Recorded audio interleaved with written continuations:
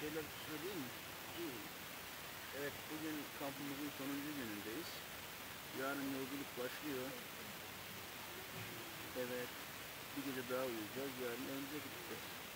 Memnun kaldın mı oğlum sen bu kamptan? Ha? Bir daha gelmek ister misin?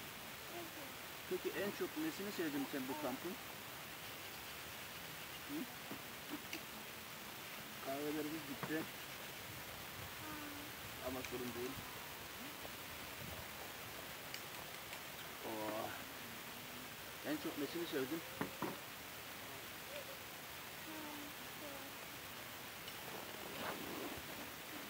Hı. Suda yüzmeyi mi? Tamam.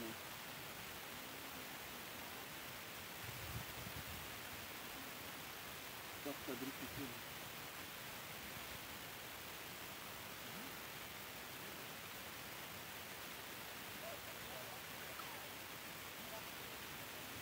Çeşit çeşit çadır modelleri.